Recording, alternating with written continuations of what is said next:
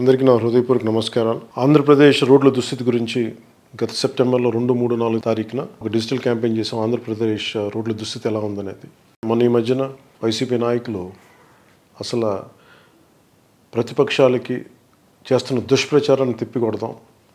వెంటనే రోడ్లు వేసి వాళ్ళ నోళ్ళు కట్టడి చేద్దాం అనే దీంట్లో భాగంగా ఆ ఛాలెంజ్ని మేము కూడా స్వీకరిస్తూ ముఖ్యంగా రేపటి నుంచి పదిహేను పదహారు నుంచి గుడ్ మార్నింగ్ సీఎం సార్ అనే డిజిటల్ క్యాంపెయిన్ స్టార్ట్ చేస్తున్నాం.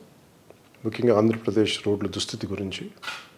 ఆంధ్రప్రదేశ్ రోడ్ల దుస్థితి గురించే మాట్లాడాలి అంటే రాష్ట్ర రహదారులు ఆర్ఎన్బి పరిధిలో స్టేట్ హైవేలు పద్నాలుగు వేల ఏడు వందల ఇరవై రెండు కిలోమీటర్లు. మేజర్ డిస్ట్రిక్ట్ రోడ్లు ముప్పై రెండు వేల రెండు వందల నలభై కిలోమీటర్లు. ఇతర రోడ్లు ఆరు వేల ఒక వంద కిలోమీటర్లు. సో వీటి కోసం రకరకాలుగా రోడ్ల మరమ్మతుల కోసం ముఖ్యంగా మేజర్ పంచాయతీ రోడ్ల కోసమే తొమ్మిది వేల రెండు వందల ఇరవై రెండు కిలోమీటర్ల కోసం వెయ్యి డెబ్బై రెండు కోట్లు కేటాయించాం. రోడ్లు మరమ్మతులు జరుగుతున్నాయని చెప్తా ఉన్నారు. కానీ చూస్తే ముఖ్యంగా పంచాయతీ రోడ్లో పందులు స్వైర విహారం చేస్తున్నాయి. అండ్ ఎందుకు పందులను డిస్టర్బ్ చేయడం ఎందుకు అనుకున్నారేమో పాపం రోడ్లు వేయడం మానేశారు. అవి కూడా మూగజీవాలు.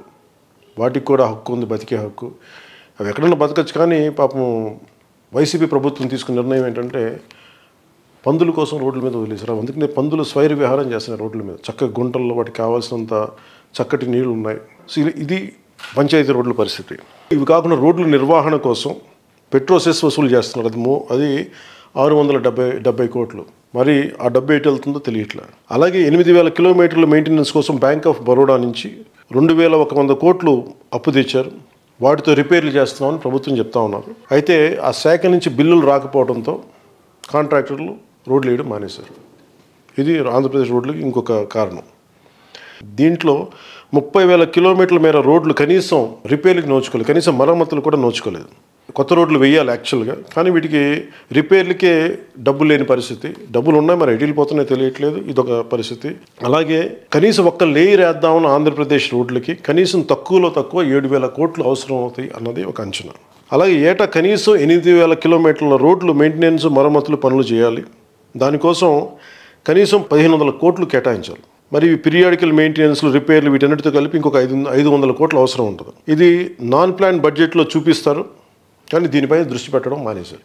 ముఖ్యంగా ఆయన అన్న మాట ఏంటంటే వైసీపీ నాయకుడు ఈ నెలలో మొత్తం అన్ని రిపేర్లు చేసి ప్రతిపక్షాల నోళ్ళు మోయిస్తాం ఈ దుష్ప్రచారం తిప్పికొడతాం ఆంధ్రప్రదేశ్ అత్యంత అభివృద్ధిలో ఉంది దాన్ని మేము చూపిస్తామని చెప్పి ఆయన స్టార్ట్ చేశారు.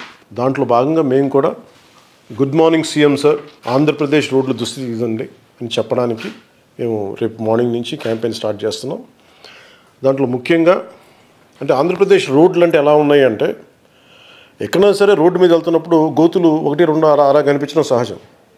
కానీ గోతుల మధ్యలో రోడ్లు ఎత్తుకోవాల్సిన పరిస్థితి ఆంధ్రప్రదేశ్లో. అసలు కొన్ని రోడ్లు చూస్తుంటే చక్కటి స్విమ్మింగ్ పూల్స్లో ఉన్నాయి చాలా ఆనందంగా ఉన్నాయి. అంటే అభివృద్ధి అంటే ఇంక మనకి సంక్షేమ పథకాలు చేస్తే చాలు ఇంకా రోడ్లు అవసరం లేదు అన్న ఆలోచన విధానం వైసీపీ ప్రభుత్వం అనేది. అవి ఆ దిశలోనే ముందుకు వెళ్తూ ఉన్నారు. అందుకని మేమందరం కోరుకునేది కూడా ఆంధ్రప్రదేశ్ రోడ్లు ఎక్కడ బాగలేదు మీ ఊళ్ళో బాగలేనప్పుడు మీ ప్రాంతంలో బాగలేనప్పుడు మీ పంచాయతీల్లో మీ మేజర్ పంచాయతీల్లో మీ గ్రామాల్లో మీ పట్టణాల్లో పరిసరాల్లో ఎక్కడ రోడ్డు బాగలేకపోయినా గుడ్ మార్నింగ్ సీఎం సార్ అనే హ్యాష్ ట్యాగ్ కింద మీరు ఫోటోలు పెట్టండి ఈ డిజిటల్ క్యాంపెయిన్ స్టార్ట్ చేయండి. వైసీపీ తాలూకు ప్రభుత్వ వైఫల్యాలని తెలియజేయండి. ఇన్ఫ్రాస్ట్రక్చర్ ఎంత అవసరమో ప్రజలందరికీ తెలియజేయాల్సిందిగా మనస్ఫూర్తిగా కోరుకుంటూ పదిహేను పదహారు తారీఖులు మనం చేస్తున్న ఈ డిజిటల్ క్యాంపెయిన్లో ప్రతి ఒక్కరు పాల్గొనవలసిందిగా మనస్ఫూర్తిగా కోరుకుంటూ నేను కూడా ఇందులో పాల్గొంటున్నాను. రేపు మార్నింగ్ నేను కూడా దీనికి సంబంధించి నేను డిజిటల్ క్యాంపెయిన్లో పాల్గొంటాను. తెలియజేసుకుంటూ సెలవు తీసుకున్నాను. జై